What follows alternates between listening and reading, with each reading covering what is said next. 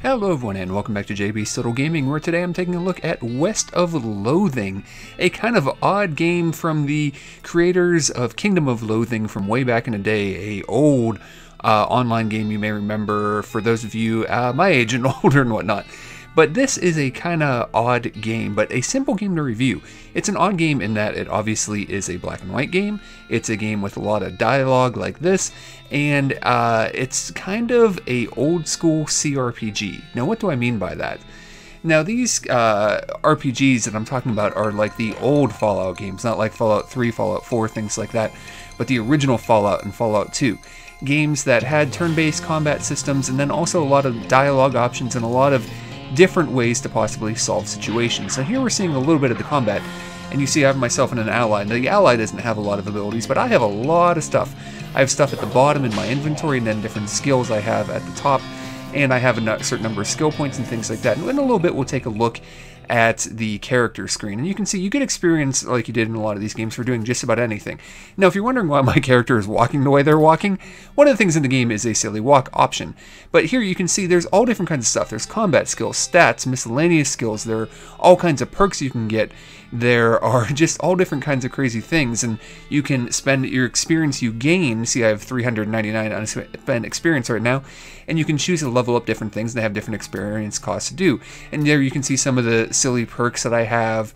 Uh, combat skills that I've learned. I, I think I only started the game with one, but I can learn more through books. And here we're taking a look at my inventory. And there's a lot of stuff you get in this game, and some of it's kind of silly and joke and things like that but you can see pretty easily what the different things do. And then there is also a pretty decent system with the icons up at the top that I'm clicking through that you can go through and look at your inventory and the different types and things like that.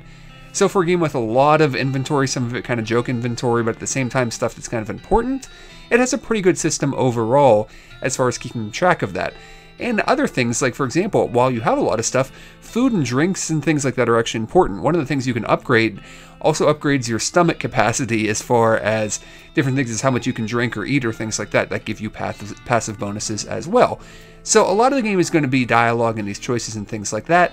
Maybe you'll get options based on certain abilities or stats that you have. So if you have a lot of moxie for example you might be able to uh, pull off something you wouldn't normally be able to, or a lot of this or a lot of that. So much like these older games, even uh, prior to some of the games that we consider CRPGs today, games that really focused on having a lot of different and sometimes silly options as to how to do things.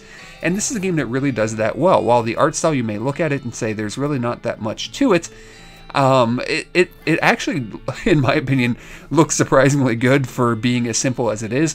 The animations are done pretty well and they are amusing. And if you're going to like a game like this or not, it's going to be based on if you enjoy the sense of humor and uh, obviously the combat and things like that. As far as the sense of humor goes, it's kind of out there. And the game does have some light puzzle elements to them. But uh, in general, it's a game where if you can think of something that would make sense in kind of a weird way. It'll probably work in the game. So there I use one of my special skills to shoot three times. And there are three different classes you can start the game as a kind of a, be- a bean slinger, a snake oil. I'm trying to remember. My, my character class is that kind of based on snake abilities, and I can make different potions. I can uh, poison or heal or things like that. And then there's like a cowpuncher class. The bean slinger or whatever it is is more of like a magic based and the Cowpuncher is more of like a straight up uh, physical combat base, at least as far as I can tell so far. And I definitely leave the silly walk on. There's other options as well that you can unlock as you play the game. And overall, the you might think the dialogue is pretty simple. There's a lot of writing in this game, so if that bothers you, that may be something you don't really enjoy. There may be a little too much writing in the game. Uh, for some people to do a lot of reading, but in general, I found humor to be pretty amusing and have enjoyed different dialogue choices and the different things you come across as you're reading. It can be a little difficult to keep track of all of the different missions and the locations that you have to possibly go to. And this is one of those games where there is kind of an overworld map you can look at and travel to any location that you have unlocked at any point, but along the way you may come across random things as well.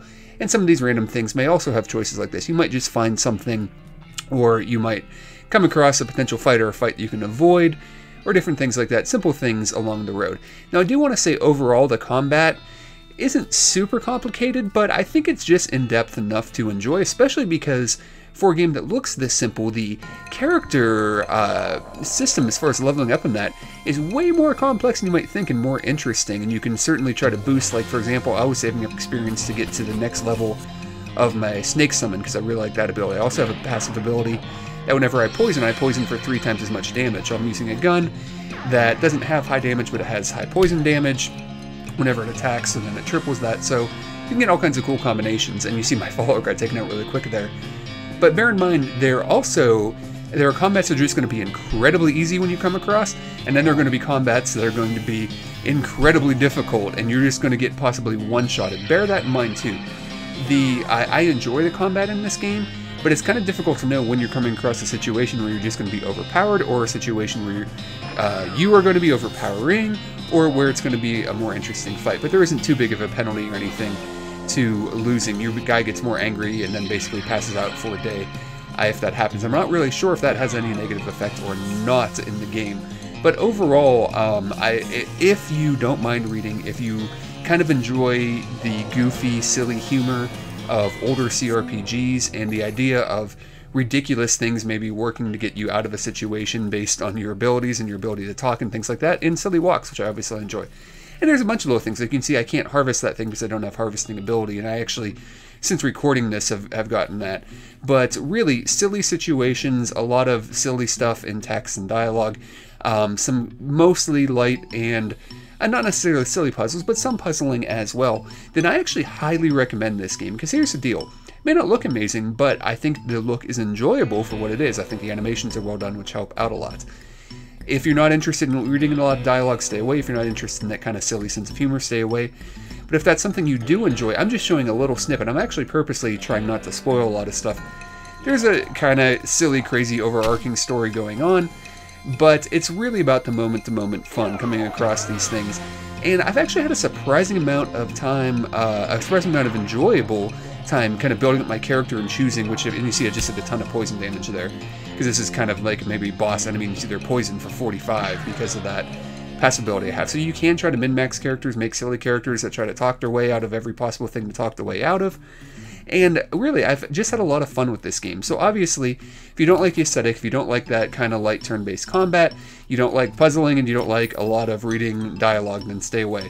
But if you're okay with all these things, then for $11, $10, whatever you get this game for, then go get it. It's a lot of silly fun, and this is a pretty easy recommendation for me. And it's one that basically I've just had a, a lot of fun playing. And, uh, you know, don't get frustrated if you end up getting killed. And yeah, I take a look at some of the uh, silly options you have in the game, like a colorblind mode that does nothing, or nerd mode that gives you more stats. And if you enjoyed that, or the best font mode, obviously, that we had to take a look at also.